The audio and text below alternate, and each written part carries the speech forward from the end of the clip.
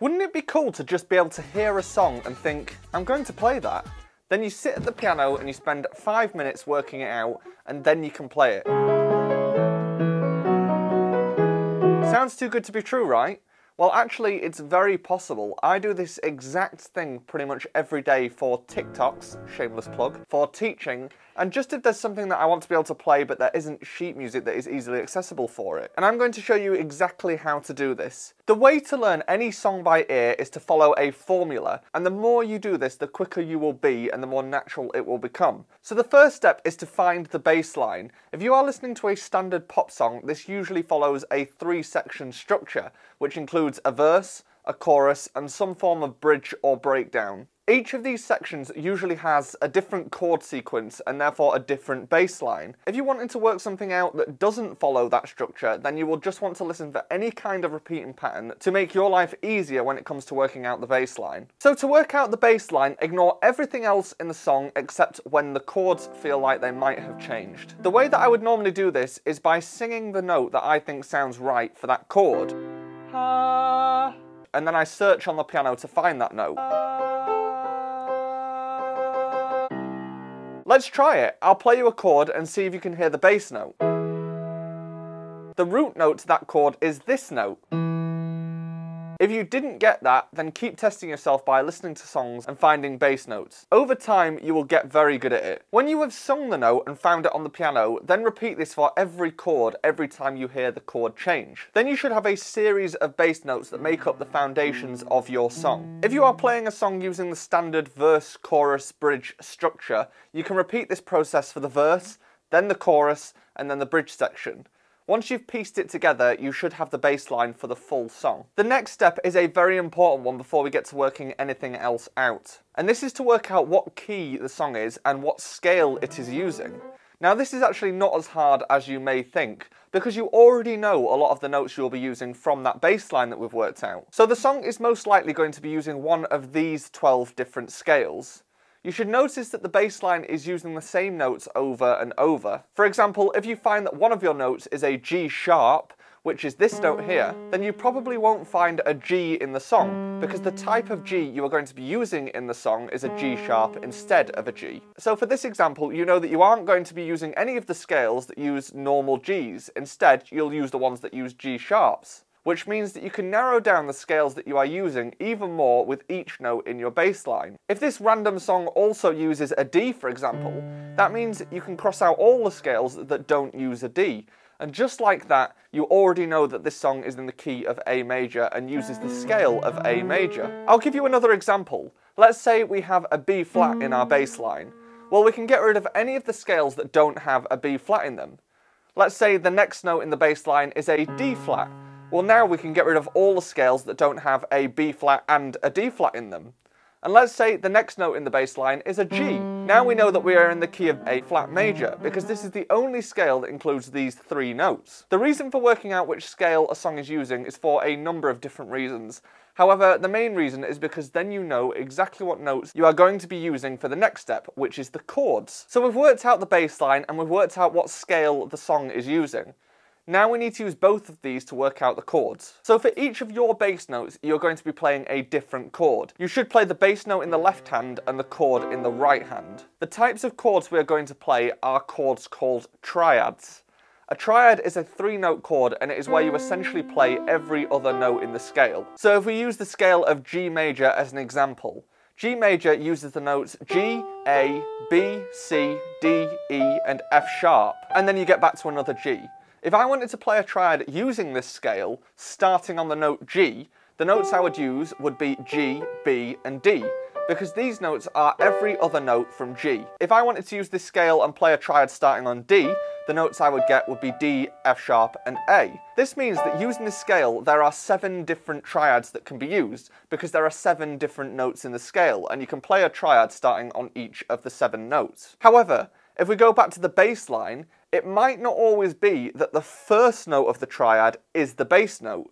You could also have one of the other two notes being the bass note. So in the scale of G, if our bass note is a C, for example, the triad could be a C triad, which is C, E, G, an A triad, which is A, C, E, or an F sharp triad, which is F sharp, A, C. And this is because these three triads all include the bass note, which is a C. So for each of your bass notes, you want to work out which of the seven triads in your scale include your bass note. Then you need to listen to which of the three possible triads sounds closest to the song you were trying to work out. Here is an example for you. If our bass notes are A, G sharp, F sharp, and E, and we know the scale we are going to be using is an A major scale because this scale includes all of our notes, the notes in this scale are A, B, C sharp, D, E, F sharp and G sharp, and then you are back to another A. The first note in our bass line, which is an A, is going to be one of three triads.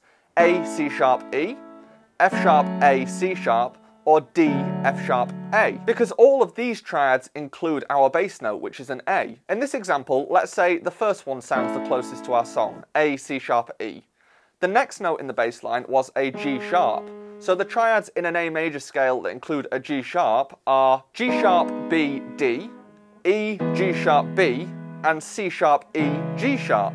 And for this one, let's say that the closest one to the song is the second triad, which is E, G sharp and B. The third bass note is an F sharp, so the possible triads are F sharp, A, C sharp, D, F sharp, A, and B, D, F sharp. And let's say this time the closest one to the song is the second one, which is D, F sharp, and A. And the final bass note was an E, so the possible triads in the scale are E, G sharp, B, C sharp, E, G sharp, and A, C sharp, E.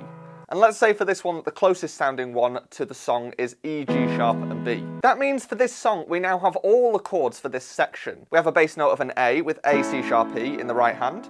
We then have a G sharp in the bass with E, G sharp, B in the right hand. Then we have an F sharp in the bass with D, F sharp, A in the right hand. And then we have an E in the bass with E, G sharp, B in the right hand.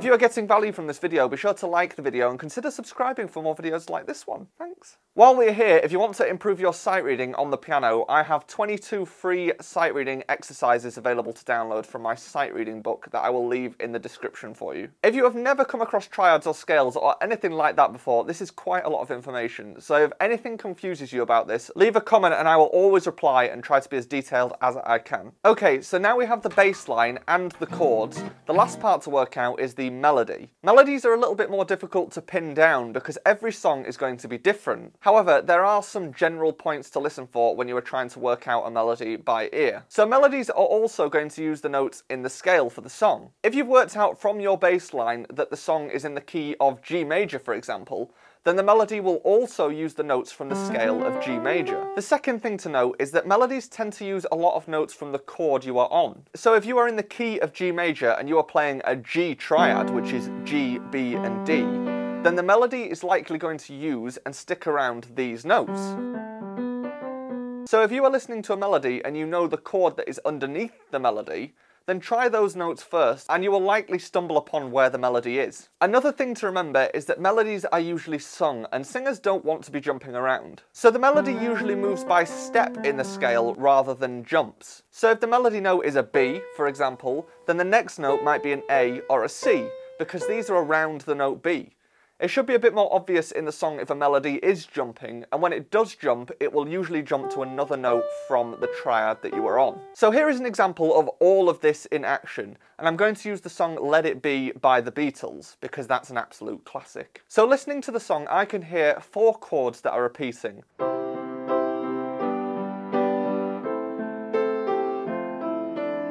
The first note to me sounds like a C.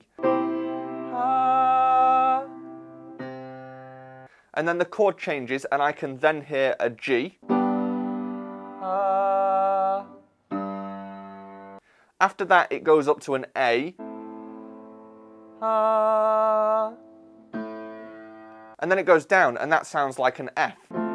Ah. So the four bass notes I can hear are C, G, A and F. Okay, so now that we have the bass notes, I need to work out what scale these notes could be from. There is a normal C rather than a C sharp or a C flat, so that rules out any scales with a C sharp or a C flat. And then there is a G, so we can rule out scales that use G sharps and G flats. Then there is a normal A, so that rules out A sharps and A flats. And finally, a normal F, so that rules out F sharps and F flats. That has narrowed the scale choices down to C major, F major, or B flat major, because all three of these scales include these four notes. However, the first note in the bass line is a C, so that makes me think it's probably C major, which has no sharps and flats. So our scale will be C, D, E, F, G, A, B, and then you go back to another C. So now we know the bass notes, we can work out the chords. So the first note is a C, and the triads in the scale of C major that include a C are C, E, G, A, C, E, and F, A, C. And the chord that sounds the most right to me is C, E, G, so this is the chord I will use.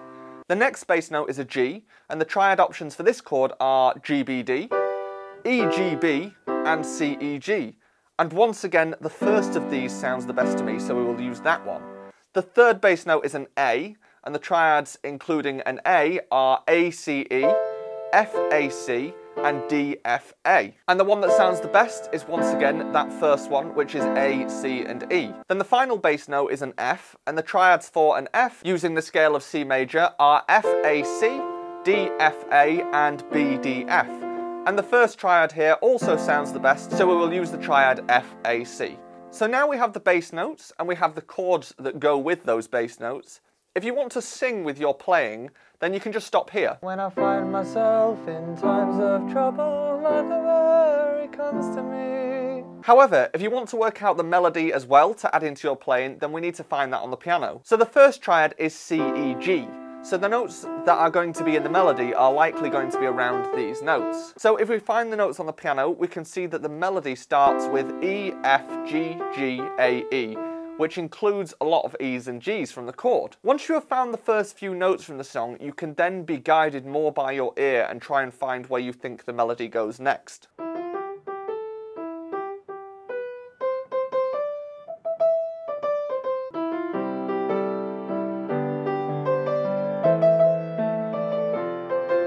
Another important thing to be able to do when playing the songs you've worked out is to be able to understand how to give your music meaning and how to make different emotions in your music. And that is exactly what this video is about, so if you're interested in that, then head on through and I will see you there.